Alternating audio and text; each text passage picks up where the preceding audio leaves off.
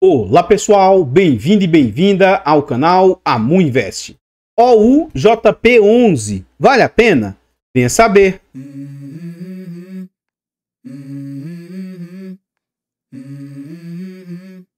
Então, pessoal, este é um fundo imobiliário de recebíveis, ele é um fundo imobiliário de papel. Na data em que eu gravo o vídeo, ele está sendo negociado a R$ 79,14 ele entregou de dividendo nos últimos 12 meses 13,83%. Ele está sendo negociado a um PVP de 0,80, ou seja, é um fundo que se encontra com 20% de desconto. Ele tem uma liquidez mediana, negociando uma média de quase 600 mil por dia, e ele vem de uma variação negativa de menos 10% nos últimos 12 meses. No quesito de cotação, o que, que a gente observa? Esse é um fundo de base 100, e durante os idos de 2019, esse fundo, como a maioria de fundos imobiliários, também estava sendo negociado ali acima dos 100 reais. Então, lá nos idos de 2019, ele estava ali na faixa de 105 reais. Durante o final do ano de 2019, começou a ter muita euforia no mercado e esse fundo, inclusive, chegou a ser negociado ali na faixa de 120 reais.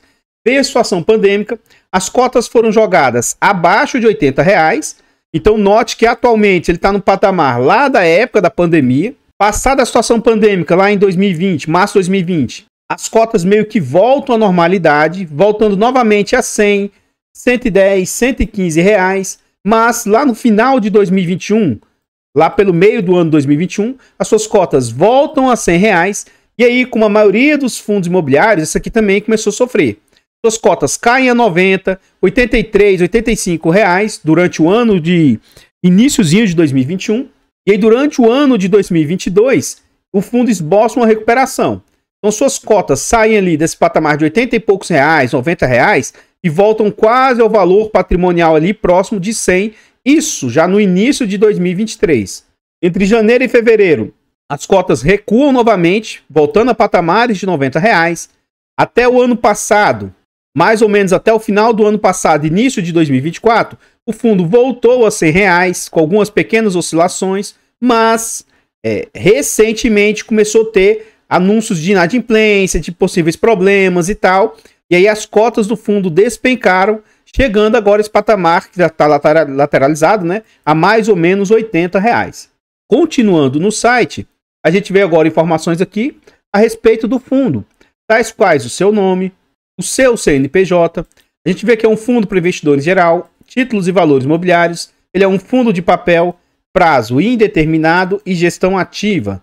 Sobre taxas, nós vamos deixar para ver dentro do relatório gerencial e não há que se falar de vacância para um fundo de papel.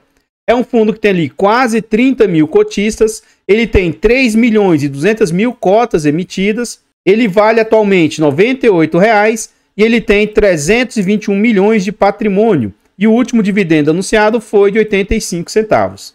Continuando aqui no site, a gente vê sobre o dividend yield médio do fundo. Então, durante os idos de 2019, o dividend yield do fundo era relativamente baixo, né? Na casa ali de 0,6. Até porque tinha um certo ágio no fundo. E aí, com o advento da inflação disparando aqui no Brasil, o dividendo do fundo, né, o dividend yield, subiu para algo na casa de 1,20, até beliscou 1,50 e ficou nessa faixa de 1,20 ali até o iníciozinho de 2023. Atualmente agora, o dividend yield do fundo está mais entre 0,9 e mais ou menos 1% atualmente. Nominalmente dizendo, a gente vê também que o dividendo saiu da casa de 60 centavos para algo na casa de 1,20 mais ou menos, e atualmente o dividendo está nessa casa ali próximo a 90 centavos, inclusive teve esse recuo agora atualmente. Então, os últimos dividendos do fundo, no dia 30 de agosto, o fundo pagou no dia 13 de setembro a quantia de 85 centavos. Como esse vídeo é gravado com antecedência, seguramente quando o vídeo for ao ar, já vai ter sido ali no último dia de setembro anunciado para outubro os próximos dividendos. Acredito eu que o fundo ainda consiga manter nessa faixa de 80, 80 e poucos centavos. Mas pode ser que para mais um ou dois meses o dividendo caia por causa da inflação, que ela chegou a ser até deflação aí no período, né? Se a diferença não for muito grande, pelo que a gente vê do relatório, o fundo tem condição de manter esse patamar porque eles estão fazendo reserva, eles têm uma reserva até interessante aí. Continuando aqui, a gente vê sobre a rentabilidade do fundo. O fundo que durante um período aí estava com a rentabilidade elevada, né, superando até outros indicadores, em razão das suas cotas terem despencado, a rentabilidade ficou prejudicada. Então, nos últimos cinco anos, o fundo vem com 32% de rentabilidade. Está abaixo do CDI, que é quase 50%, o IPCA do período, 33%, o IFIX, 23%, e aí o IDIV, que é o Índice de Dividendos das Ações, 59%. Então, pessoal, antes a gente continuar vendo mais a respeito desse fundo imobiliário, eu trago aqui para vocês formas de apoio financeiro ao canal. Você gosta do nosso trabalho e quiser nos ajudar, considere fazer uma doação para o Pix, amuinvest.gmail.com. Qualquer doação é muito bem-vinda. Outra forma de apoio financeiro. O nosso canal conta com um clube de membros. Tornando-se membro aqui do nosso canal, a partir de 10 centavos, esse é um valor por dia, né? Mais ou menos 10 centavos por dia, R$ 2,99 por mês. É um valor barato, irrisório, acessível. E para o canal faz muita diferença. Tornando-se membro, além de nos ajudar, vocês têm acesso antecipado a vídeos. Lembrando que esse vídeo está sendo gravado com duas semanas de antecedência. Você tem preferência quando pede um vídeo e a gente dá preferência para os membros e para os é, inscritos do canal. Você participa do grupo do Telegram e tem desconto na nossa planilha de controle financeiro. A nossa planilha é um ótimo produto com muitas funcionalidades, versátil aí. Essa nossa planilha de controle financeiro, ela tem muitas funcionalidades, é muito versátil. Adquirir a planilha, ela vai te ajudar a organizar os seus ativos, vai te ajudar na sua declaração de imposto de renda e inclusive no poder decisório de qual ativo comprar. Adquira, porque é um ótimo produto e além de nos ajudar, é uma forma de apoio financeiro aí ao canal. Por fim, nós contamos com e-books de introdução aos fundos imobiliários, introdução aos fiagros, são e-books de ótima qualidade, um conteúdo muito agregador. Adquire os nossos e-books, porque é uma forma de apoio financeiro. Muito, muito obrigado. Se você estiver precisando de ajuda para uma consultoria, mentoria, para uma estruturação de carteiras, considere aí fazer um envio aí para o nosso e-mail ou para o nosso Instagram. Pode ser que a gente consiga te ajudar de alguma maneira. Lembrando que por enquanto nós não fazemos indicação de ativos, mas mostramos o racional por trás das nossas escolhas e com a maneira como a gente investe. Nós estamos estudando para tirar nossa certificação e após a certificação nós vamos poder inclusive fazer indicação de ativo. Aqui agora nós estamos dentro do relatório gerencial e o que, que a gente consegue observar? O fundo cobra de taxas 1,05 e ele tem performance de 20% se ele bater o benchmark. O que, que é o benchmark? A média do IMAB mais 0,5%. Continuando aqui, esse é um fundo que é desde 2016, já tem bastante histórico, né? E a gente vê o seguinte: o fundo fez reserva no último mês. Atualmente a reserva do fundo já está em 30 e poucos centavos, tá? Então note, ó. O fundo atualmente ele tem 87% alocado em ativos, dos quais 86% é CRI e 5% em FIIs, e ele tem 13% ali em caixa. Eu acho um valor alto em caixa. Para mim, o máximo que o fundo deveria estar em caixa deveria ser 5%. Então, para mim, esse percentual aí está acima do que, entre aspas, né? Do que seria normal. Do que ele tem em CRIs, 64, 61% está em PCA e 34% em CDI. Então eu acho interessante eles terem uma certa exposição a CDI.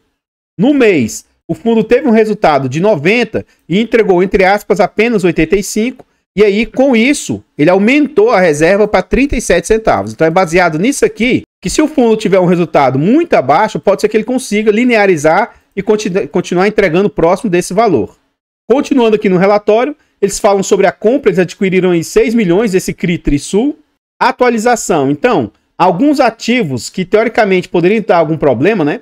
Coteminas, eles mudaram a forma de calcular valores, é algo assim, nada demais. É Carvalho Hosking, que é um ativo que um tempo atrás deu problema, tá? Então, ó, neste mês foi realizado um pagamento de parte dos juros que estavam atrasados.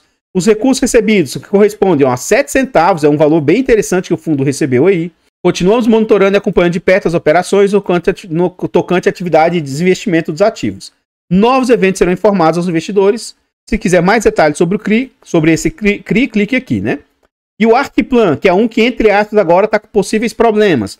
Desde a última atualização, o status sobre a, recuperação judicial continua mesmo. Além disso, é importante ressaltar que os juros foram pagos integralmente. Apesar de ter pedido recuperação judicial, eles estão pagando os juros aí, ó. E o fundo vem recebendo amortização extraordinária todos os meses essa operação. Continuaremos acompanhando o caso de perto e, havendo qualquer novidade, vamos informar ao mercado. Se quiser saber mais sobre esse CRI, clique aqui. Continuando no relatório, a gente vê aqui sobre a DRE, demonstrativo de resultado de exercício. Então, em agosto, o fundo teve como receitas totais quase 3 milhões e 300. Disso, 2 milhões e 900 vieram aí dos ativos alvo, CRIs, e renda fixa ali gerou 385 mil. Infelizmente, os FIIs que o fundo possui não geraram renda. As despesas do fundo que vão para o bolso da gestão, 262 mil. Despesas gerais, 109 mil. E imposto de renda, 86 mil.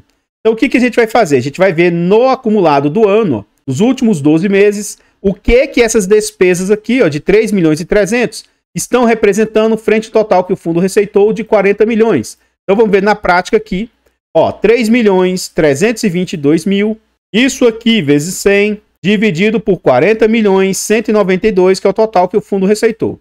Então as despesas do fundo estão ali na casa de 8,26%, abaixo de 10 eu considero ser um valor bem aceitável. Então no quesito de taxa, algo totalmente normal. Novamente o fundo conseguiu aumentar sua reserva para 37 centavos, né, um ponto interessante. E aqui o fundo traz o desempenho do fundo nos últimos meses, comparativamente também com outros benchmarks aí. E o que, que a gente observa? O fundo vinha, esse verde aqui, ó, retorno acumulado aí, a média do IMAB, esse verde aqui. O retorno do fundo, se tivesse na sua cota patrimonial, está bem em linha com o benchmark do fundo. O retorno acumulado do fundo aqui, ó, da cota, vinha também com um bom cenário, mas com a queda atualmente despencou, né? E aí, no longo prazo, toda a gordura que o fundo vinha fazendo, hoje praticamente está próximo do CDI do período aí. Nos últimos tempos, o CDI está interessante, mas desde 2018 para cá, o fundo vinha dando uma surra no CDI, mas com essa queda da cotação, no longo prazo, ainda assim, ele agora está um pouco acima do CDI. Mais abaixo ele mostra sobre os dividendos, né, mês a mês, ó, o que que gerou de resultado, o que que distribuiu. Então, em janeiro, ele teve um resultado bem interessante que começou a fazer uma gordurinha e consumiu isso em alguns meses, né?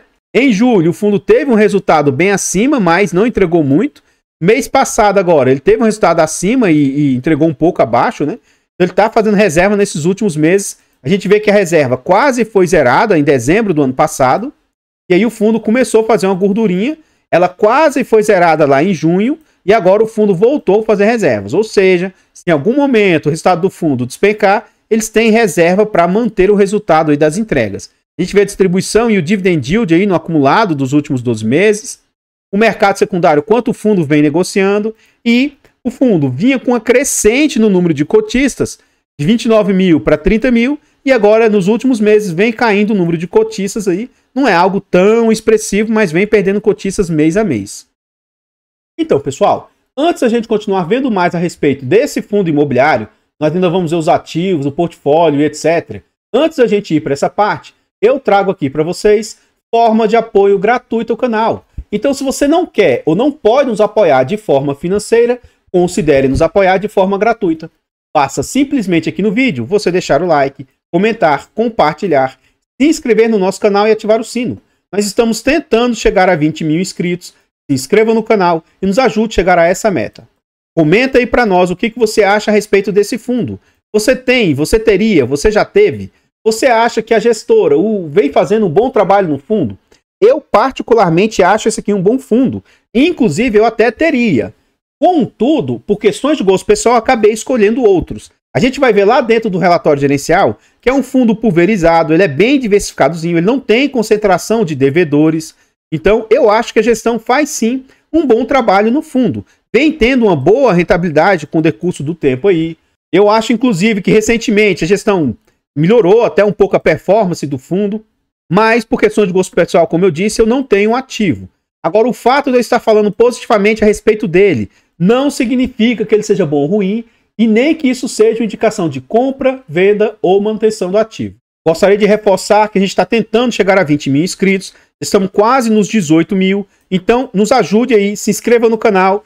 Vamos tentar primeiro bater os 18 mil, está bem perto, depois os 19, 20, então conto com a ajuda de vocês. Todos os nossos canais estão presentes em outras plataformas. Então vá nessas plataformas. Siga, se inscreva, comente, compartilhe, que ajuda demais. Eu abro caixas de pergunta frequentemente no Instagram. Deixe a sua dúvida lá, que eu vou procurar atender com a máxima rapidez. Aqui eu gostaria de reforçar, né, de reiterar um recadinho do início do vídeo.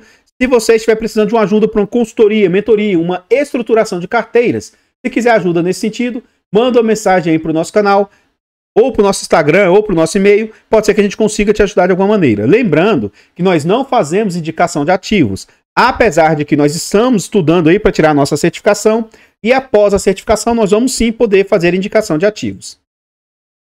Voltando ao relatório gerencial, agora nós vamos ver a respeito da como que o fundo está se comportando. Ele tem ali como já dito, dito anteriormente, 86% em CRIs, 13% em caixa. Para mim, o máximo que ele deveria ter em caixa ali seria 5%, né? Então, 13% eu acho um percentual alto. E ali, 0,5% em FIIs.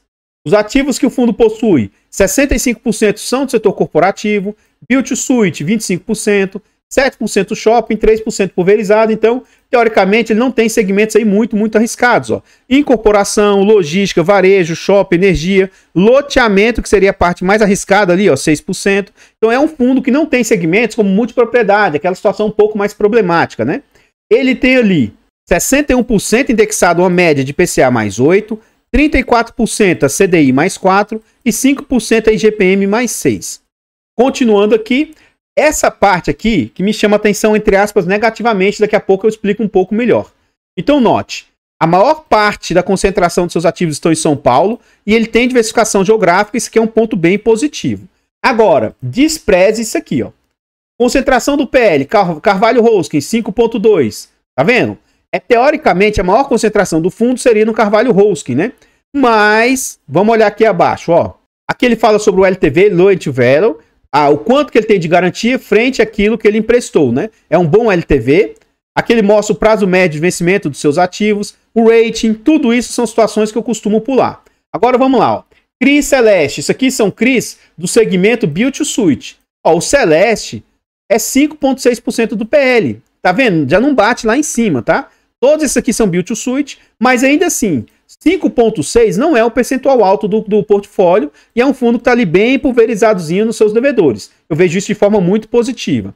Agora de risco corporativo, aí sim, o Carvalho Roskin aqui, ó, com 5,2. Esse Minas Brisa, 4,3. Loft, 5,3. Mas a gente vê que não bate com a informação do próprio relatório. Então, de certa maneira, eu vejo isso aqui assim, poxa, o relatório deles não bate com as próprias informações que eles trouxeram, né? Mas isso aí é, é, algo que vocês podem entrar em contato com a gestão lá e dar uma reclamadinha, se for o caso. Os pulverizados e as suas exposições, os shoppings e as suas exposições, as dívidas, né? O único fundo imobiliário que eles têm é o AULG, que é um fundo da própria casa, que inclusive está passando por problemas severos, né? E é um ativo que não vem gerando renda para o fundo. E o fundo vem ali com 13% em caixa, como já dito anteriormente. Aqui a gente começa a ver os devedores do fundo e vamos tentar ver aqui algum devedor problemático. Então vamos continuar vendo aqui no relatório Carvalho Roskin. Carvalho Roskin, que é um, um que atualmente já não está com tanto problema assim. Ó. Tem vários, tá? Se você continuar olhando no relatório, tem outro Carvalho Roskin aqui no relatório. Esse aqui ó, é indexado a CDI. Eles emitiram 140 milhões, apesar que não é tudo para o fundo, tá? E em relação a essa dívida, o que foi dado como garantia? Foi dado alienação fiduciária de terreno, ou seja, o terreno foi dado como garantia. O próprio estoque, o que eles já construíram, foi dado como garantia. Sessão fiduciária de recebíveis, de aluguel ou da carteira própria, aval do, acionista controlador, fundos de liquidez, ou seja, eu acho uma garantia bem sólida aí do que foi dado, tá? Não vejo como sendo algo ruim. A gente olha outro devedor aqui, ó.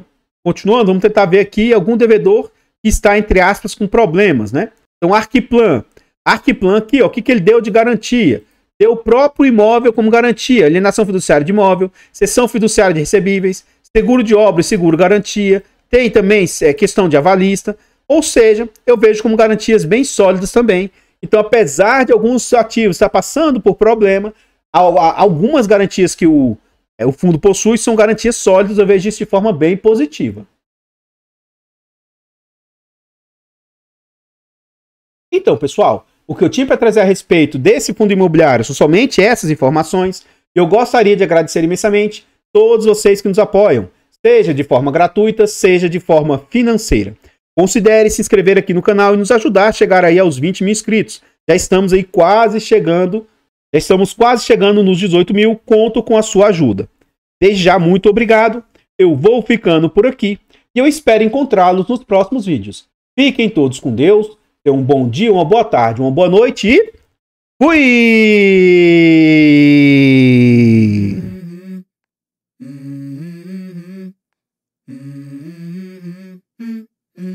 Let's go.